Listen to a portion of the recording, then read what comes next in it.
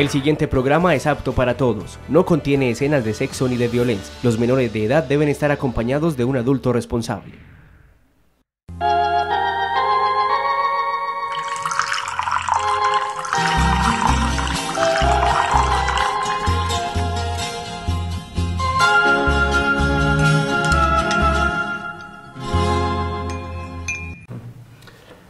Televidentes de Tinteando con la firma, buenas noches.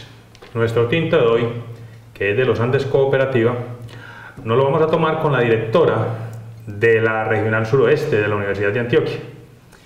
Eh, directora doña Elvia María González, bienvenida a Tinteando con la firma. Muchas gracias. Un saludo muy cariñoso a todos y a cada uno de nuestros televidentes. Bueno, primero que todo, eh, usted es nueva acá en la, en la sede de la universidad.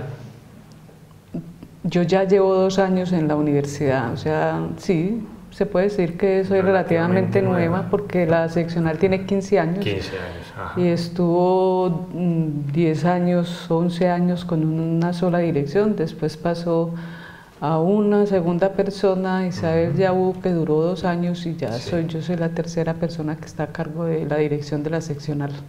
¿Es bueno esos cambios tan periódicos o es bueno un un tiempo largo de una directora? Pues yo quisiera quedarme un tiempo largo, me parecería muy bueno que nos pudiéramos quedar aquí otro tantico. Me refiero más que todo es como a, la parte de poder desarrollar ciertas ideas, ciertos proyectos. Sí, usualmente en la universidad pública los tiempos son eh, muy eternos, eh, son como podríamos decir geológicos.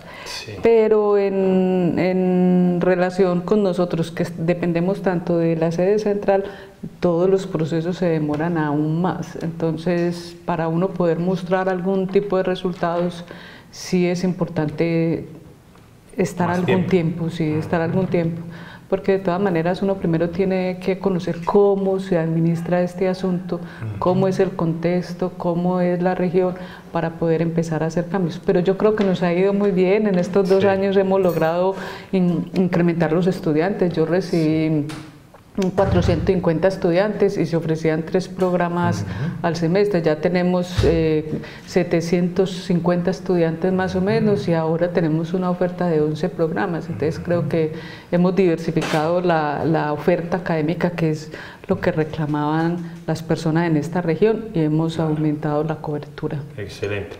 Bueno, vámonos a ir un poco atrás. Eh, ¿Quién es Elvia María González?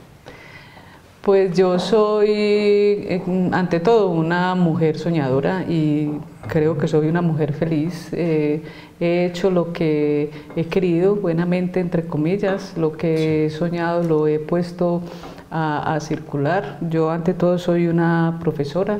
Soy una mujer que ha estudiado en una escuela pública, en un bachillerato público, en la Universidad de Antioquia que es pública, entonces yo soy pues una, una, persona que tiene cierta forma de pensar eh, solidariamente con, con, nosotros, con las personas que venimos de un estrato 2, 3, 4, que podemos entrar a la universidad y podemos gracias a la, a la, educación pública que tiene este país, podemos estudiar y podemos eh, acceder al conocimiento y al saber.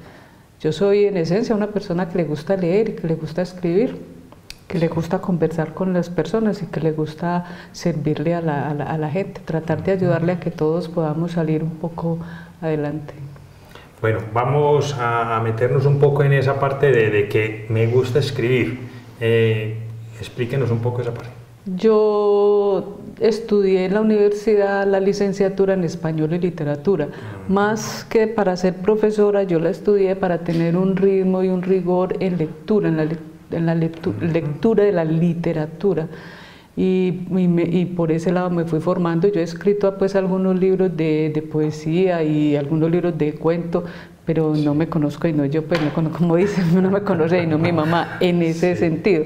Pero cuando llegué a la profesión ya de docente, yo empecé a estudiar sobre pedagogía, sobre didáctica, sobre currículos, sobre imaginación, sobre creatividad y ya son los escritos son del área de la pedagogía o de la filosofía, desde la hermenéutica y en eso sí ya pues tengo un poco más de reconocimiento y sí, sí circulan los textos pues y las clases y las cosas que yo trabajo en ese sentido, ahí ya sí tengo algún reconocimiento mayor, pero siempre leyendo y escribiendo, que es lo que a mí me gusta hacer.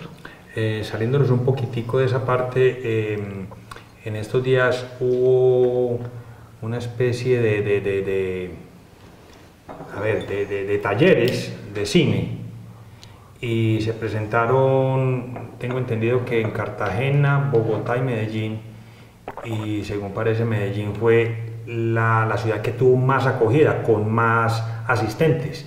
¿Qué está llevando a que la gente ahora se, se, preocupe más por, por esto de la poesía, sobre todo en Medellín, cuando hacemos esos eventos de, de poesía, que se invita a gente de todo el mundo? Eh, sí, o sea, eh, por eso son narrativas. Entonces, dentro del campo de las narrativas, la gente puede escoger o escribir tradicionalmente como se escriben los cuentos, las novelas, la poesía. Poetas pues somos todos, todos llevamos un, como dice por ahí el rumor pues general, que todo buen poeta tiene un mal verso y todo mal poeta tiene un buen verso. Entonces todos soñamos en algún momento cuando nos enamoramos de alguien o de la vida escribimos cositas.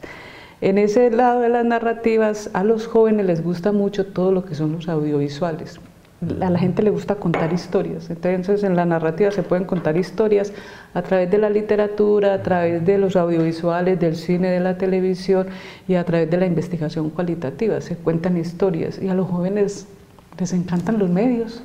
Y como los medios ya no son solamente medios masivos, sino que está toda la alternativa del internet, del celular con, con todas estas herramientas que los muchachos tienen a su alcance para grabar historias o para comunicarse, toda esa transmedia que ya se usa, ya pues con, con, el Twitter, con el Facebook, con todas estas cuestiones, ya los medios también están en cada uno de nosotros y cada uno puede escribir algo y el mundo entero lo puede ver. Entonces esa narración, esa, esa contar historias donde ya se quita el monopolio, porque lo importante del Internet es eso, que quita los monopolios de, de solo tres o cuatro personas, sino que ya todos podemos hacer televisión, todos podemos hacer radio por internet, todos podemos escribir un mensaje que mucha gente nos lea. Entonces esa popularización, por, hacer, por decirlo así, de todos esos medios es, es una cosa maravillosa. Entonces a la gente le gusta mucho eso, a los jóvenes les gusta mucho eso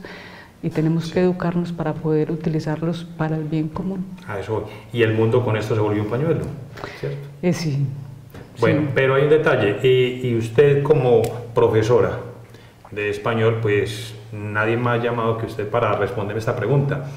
Eh, ¿La gente sí lee o no lee? ¿O a, raíz de, esta, de esta situación con el Internet, con toda esta informática que tenemos, eh, la gente está escribiendo más? ¿Cuál es su respuesta? Pues la gente sí escribe más, el problema es que creo que no escriben muy bien pero, pero no importa, o sea, yo sí soy una defensora de que los sardinos, los jóvenes, los bachilleres tienen es otra forma de comprender el mundo que nosotros ya los que estamos más adultos muchas veces no entendemos. Por eso hay muchos profesores que dicen que el problema de los muchachos es que no saben leer. Y yo les digo que no, no es que no sepan leer, sino que no saben leer el lenguaje técnico que entran a estudiar a la universidad.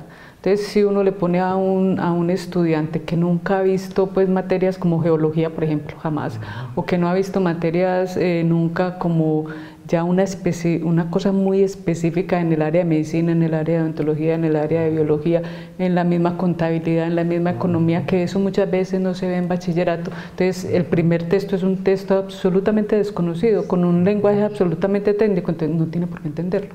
El trabajo del profesor es introducirle ese lenguaje científico a ese lenguaje cotidiano que él tiene y tiene que empezar a hacer un acercamiento para que el muchacho comprenda ese nuevo lenguaje.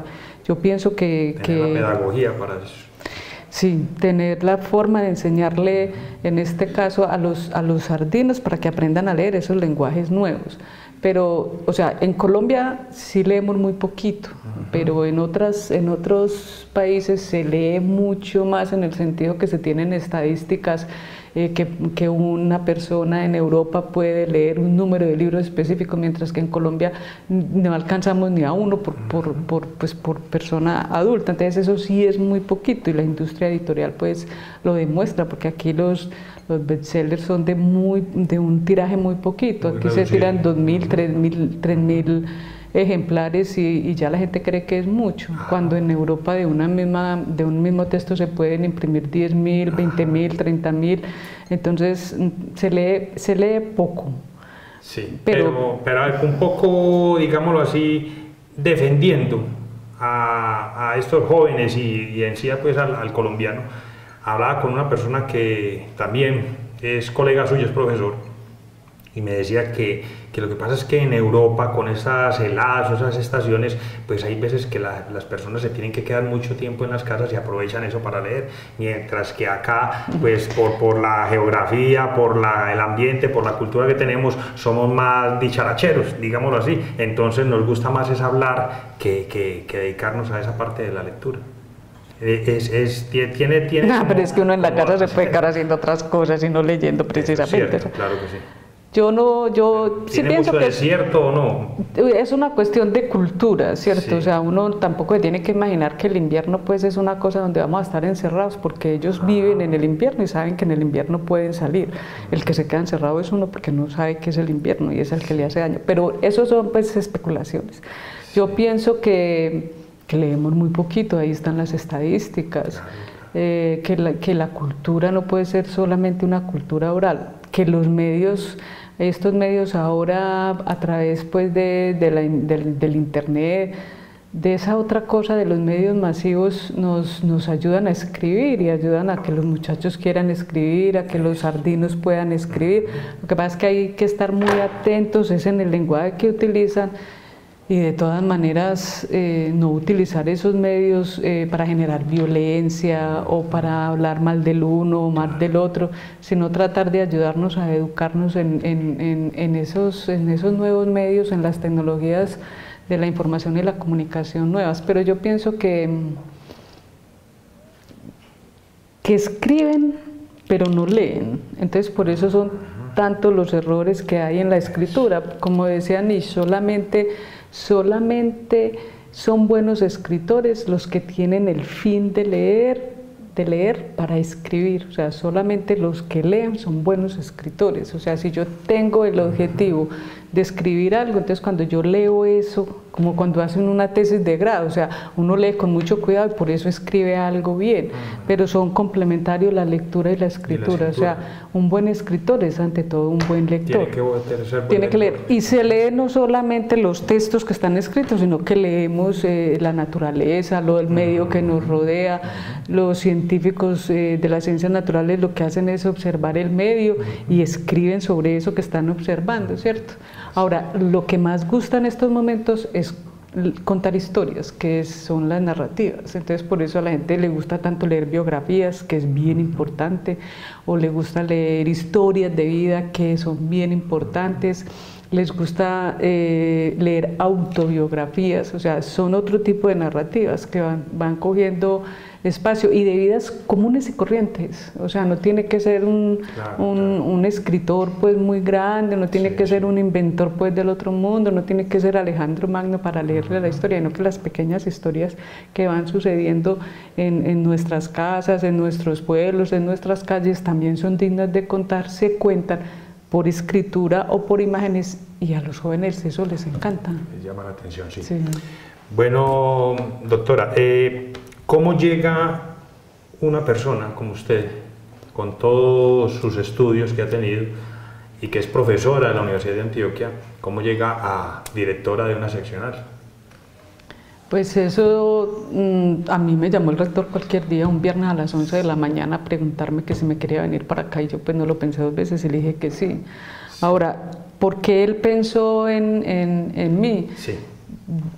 Hay una cierta casualidad que él, conocía a mi familia, a mis hermanas y sabían que mis hermanas eran de Bolívar Antioquia, entonces él mirando que alguien que conociera el territorio estuviera aquí en la seccional contextualizado, además porque yo trabajaba, yo siempre he trabajado como asesora de currículo para la vicerrectoría de docencia o para, o para mm, regionalización, que es la dependencia pues que maneja todas las, sedes y seccionales, sí. Entonces ya tenía pues como esa visión de, del currículo y de administrar académicamente y conocía lo que pasaba en regiones con un programa que estábamos haciendo allá, que estábamos haciendo el proyecto educativo de regionalización. Entonces, mm, me imagino yo que se le juntaron todas las necesidades y me llamó, me hizo la propuesta y yo le dije que sí de una vez, pero no lo pensé dos veces. Bueno, em, dicen que las comparaciones son odiosas. Ahora que usted habla de que tenía que conocer sobre todas las regionales, sobre todas las sedes, mm, ¿cómo está Andes con respecto a las otras regionales? Me refiero a la sede, pues, la sede suroeste. Muy bien, muy bien. Estamos nosotros en, hay seccionales y hay sedes. Las sedes son, son municipales y las seccionales son de la región. Nosotros como seccional del suroeste, con sede en Andes, somos una seccional y cubrimos 23 municipios. Nosotros somos, mm, por decirlo de alguna manera, la cuarta seccional. Está Urabá, que está creciendo mucho porque el gobernador ha invertido mucho en esa región y, tienen tres sedes allá. Está eh, Caucasia, que siempre es un, poco grande y tiene una muy buena infraestructura y como Caucasia pues es un polo de desarrollo para todo el sur pues de la costa, entonces tiene muchas posibilidades de crecer. Está Oriente, que también han invertido mucho en la infraestructura de Oriente, entonces en su orden son eh, Urabá, Oriente y, Caucasia. Y nosotros vamos de cuartos. Mm, en, el, pero ya en el número de estudiantes, por ejemplo, eh, estamos a, 20 estudiantes de Caucasia, cuando ah, nuestra seccional es mucho más, más pequeña. Entonces, en estos dos años hemos crecido mucho el número de estudiantes y hemos crecido mucho en número de programas y también ya tenemos profesores de tiempo completo y hay, administra hay más personal administrativo, o sea, nosotros vamos creciendo eh, bastante. Eh, y nosotros tenemos particularmente una propuesta pedagógica que es muy especial porque estamos integrando la investigación, la extensión, la docencia y estamos trabajando conjuntamente. Ya ofrecemos, nosotros a partir del semestre entrante vamos a ofrecer materias propias construidas por nosotros que tienen que ver con la región. O sea que nosotros tenemos un proyecto pedagógico pues que no puedo decir que las otras no lo tienen, porque sería pues hablar de, mis compañeros, pero, pero eso va guiando caminos. Y, y, con lo que se puede sacar pecho. Claro, y, estamos orgullosos de eso. Y tan es así que ya el rector está pensando en que nosotros también podemos posiblemente descentralizarnos. Entonces esa es un, eso es algo muy bueno para la universidad. Claro, mm. Bueno, eh, hace, hace algunos años Mm, veíamos con tristeza que muchos estudiantes, o sea, con tristeza y con alegría, muchos estudiantes de la Universidad de Antioquia tenían que desplazarse a algunas instituciones educativas de acá del área urbana a estudiar porque no cabían allá en la sede. ¿sí? Eh, se inauguró una, una ampliación que se hizo la pregunta es, eh, ¿todavía hay estudiantes por acá en estas instituciones educativas o ya toda la cobertura se hace No toda la cobertura se hace allá, pero ya nos quedó pequeña, no, pero los estudiantes, valga aclarar, venían a los colegios aquí, era por el laboratorio, ah, hacer los laboratorios, porque nosotros no teníamos un laboratorio, pero ya tenemos el laboratorio de ciencias básicas, entonces ya está, ya el laboratorio está listo y obviamente pues que eso nos da alegría porque de todas maneras los muchachos, uno saliendo del colegio y tener que volver al colegio a ver asignaturas, sabiendo que yo ya estoy en la universidad, que ya pues estos muchachos son más sardinos, yo ya soy un universitario. Eso influye psicológicamente en los, en los jóvenes, pero ya el, el, el laboratorio está funcionando, ya somos, agradecemos mucho al colegio pues que nos prestaba el laboratorio en un convenio que se tenía, pero ya, ya estamos en la universidad. Pero no podemos decir absolutamente nada porque ya eh, la universidad nos va quedando pequeña, nos va quedando pequeña la infraestructura, entonces algo tenemos que hacer en infraestructura, hay que mostrarle las necesidades al rector cuando venga porque la idea es crecer. Nosotros tenemos un proyecto eh, que queremos mm, pedir, el proyecto está escrito y se hizo, se, se está gestionando el, el, el frente pero eso es un problema, eso es de la gobernación, pero no hemos podido adelantar mucho porque ahí hay como ciertas restricciones, pero ya el rector sabe que eso está en las posibilidades de ampliación. Nos tenemos que ampliar, o nos podemos ampliar ahí, o nos podemos ampliar en otra seccional, pero esas son solo posibilidades, pues que nos quede muy claro. Pero hay que madurarlas, ¿cierto? Sí, y, y la idea es que, porque es que había, antes había como un panorama de que no había gente para estudiar en el suroeste. Entonces yo le dije al rector anterior que no, gente sí hay. Hay 3.886 bachilleres promedio al año en el suroeste. Nosotros apenas alcanzamos a ofrecer, ahora que estamos ofreciendo bastantes puestos, no alcanzamos menos 250 cupos y los estudiantes pasan solamente 100, 120.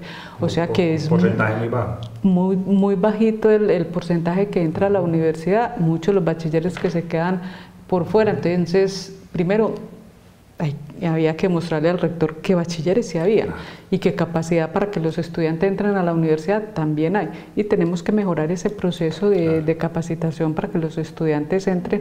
Hay que seguir pensando sobre las formas de admisión de la universidad porque yo sí pues prefiero unos estudiantes en, la universidad a que estén pues en el pueblo jugando billar, aunque jugar billar pues es muy bueno, pero de todas maneras... Pero todo a su tiempo como también que estén de lunes a viernes y no solamente los fines de semana, sino que hayan programas normal, como en cualquier universidad, cualquier universitario debe estar en semana en, en, la universidad y los fines de semana dedicarlos a los, a los posgrados, a la formación continua, a que los niños vayan a la universidad a estudiar inglés o a hacer artes, a que desde pequeños los niños sepan que hay una universidad y que ese es su futuro y que pueden estudiar allá.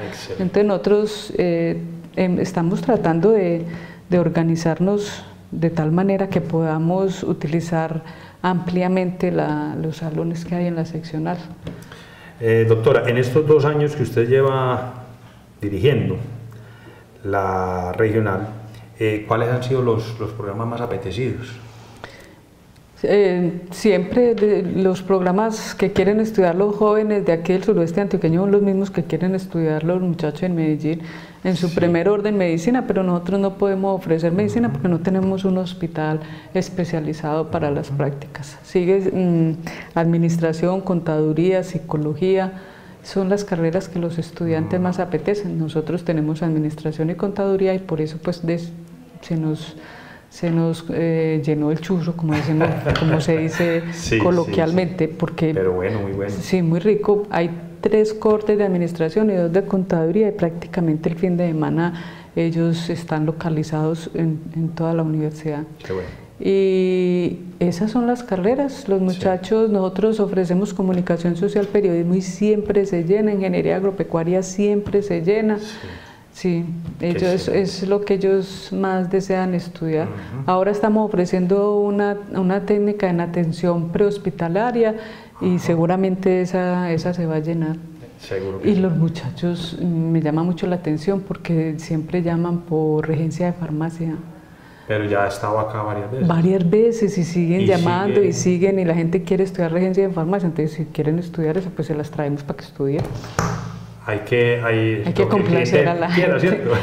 Sí, aunque nosotros estamos estudiando para traer otras, otras carreras que sean permanentes y propicias en la región. Por ah, ejemplo, estamos eh, trabajando mm, ciencias culinarias o lo que tradicionalmente se habla, se llama gastronomía, que es un programa muy bonito, que es un programa solo lo ofrecen las universidades privadas, ahora lo vamos a ofrecer nosotros como universidad ah, pública y para todo el turismo eh, sería bien importante. Entonces ese programa a más tardar empezará en el 16.2, más tardar, más tardar 17.1, ah, entonces es bien importante, sí. Pero una primicia. sí, ese es un programa bien importante. El otro que también estamos trabajando es a nivel de especializaciones, la especialización en café, que la estamos pensando hace más de un año, ya está casi listica Vamos a ver si también se puede en el 16 traerlo. O sea, nosotros lo que estamos haciendo es pensarnos los programas. Ahí es cuando yo le digo que es que las cosas son muy lentas porque el programa hay que diseñarlo,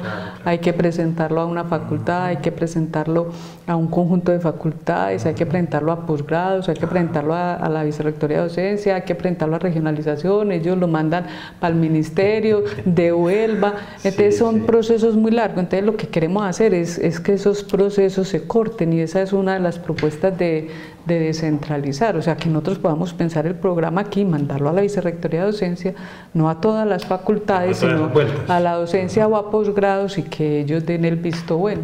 Excelente. Pero ahí hay un problema es porque no tenemos profesores propios, entonces si no hay profesores Pero no hay ya- programas. ya vamos en ese proceso, Sí, ¿cierto? ya se va en ese proceso, bueno. ya tenemos, eh, tenemos, pero ahí también hay otro problema, tenemos tres plazas, Sí. tres plazas, pero no hemos podido adjudicar sino una, porque, porque, los, porque la gente no se presenta. No me diga. Ah, ah, Sí, entonces hay que buscar mucho, con mucha lupa, quién se presenta, sí. porque esas son convocatorias públicas, o sea, yo no le puedo decir ven y presentar, pues yo sí le puedo decir venga, preséntese, Sí, pero, entonces, pase. eh, la cosa- Entonces los requerimientos es- son magísteres, son Claro, doctores, y claro, muchas claro. veces en la región no hay, los sardinos de pronto no se quieren venir, pero, pero hay que seguir pidiendo más plazas y trayendo más, más personas a trabajar ahí con nosotros. Doctora Elbe María, usted nos ha hablado de cosas muy ricas, pero le, le va a tocar ya para terminar eh, un tema un poco maluco, que, pero de todas maneras es, es normal en todas las universidades y en todas las sedes, y es lo de la deserción. ¿Cómo va el tema de la deserción de los estudiantes acá en el... No, antes nosotros le arreglamos la deserción a la Universidad de Antioquia, le bajamos el promedio. Hay, Sí. do- hay dos, dos, dos enfoques. Uno es de las, as- de las, materias, de las carreras perdón, presenciales. Nosotros tenemos más o menos el 9%, que es muy bajito.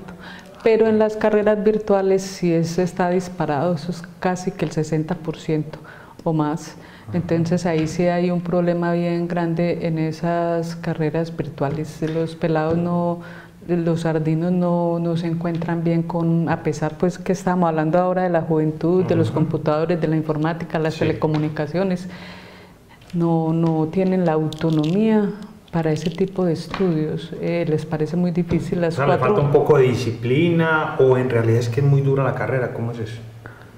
No, yo no creo que ninguna carrera sea dura si a uno le gusta. Si o sea, si uno va a estudiar lo que Claro uno que quiere, sí. eso pues al que le gusta Sí, le sabe. así es. Lo que pasa es que uno creería que los, que los jóvenes que se presentan a estas carreras tienen todas las posibilidades, pero no, nosotros tenemos un problema muy grave y es en las matemáticas. O sea, como son las cuatro ingenierías, las ingenierías, los dos primeros, los cuatro primeros semestres, los dos primeros años son matemáticas, cálculos, geometría. Matemáticas al mil. Y, y en el- y en- y- y- y las aulas virtuales de la universidad son muy bonitas, son muy buenas, son muy didácticas, pero los estudiantes no, no tienen todavía como la autonomía, el, eh, la inspiración de, sola- de ser autodidactas.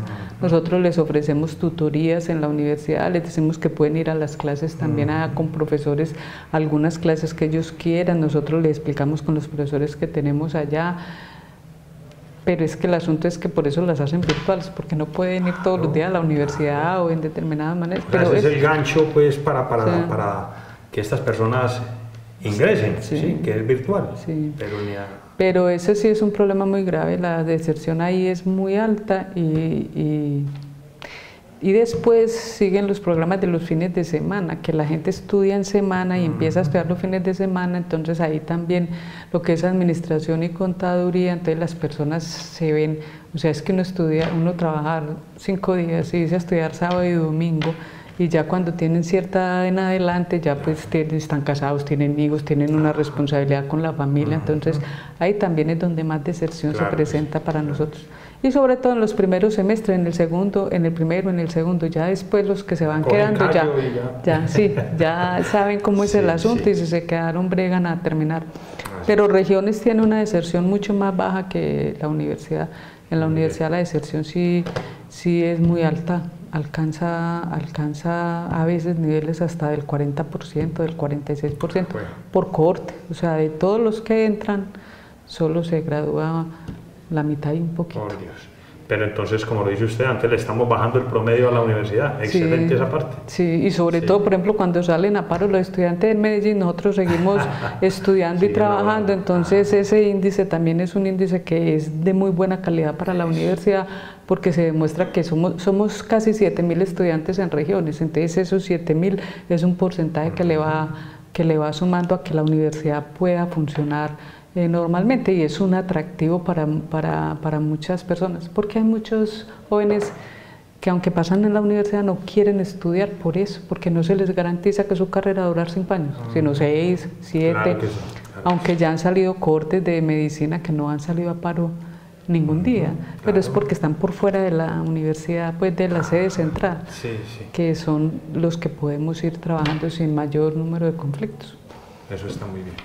Doctora, nos quedan muchos temas en el tintero, pero me gustaría invitarla de nuevo a otro programa para que sigamos hablando de tantos temas que tiene la universidad. Por supuesto, muchas gracias por la invitación, aquí estaré presta para lo que necesiten. Eso está muy bien, muchas gracias. Televidentes, buenas noches y hasta un próximo programa.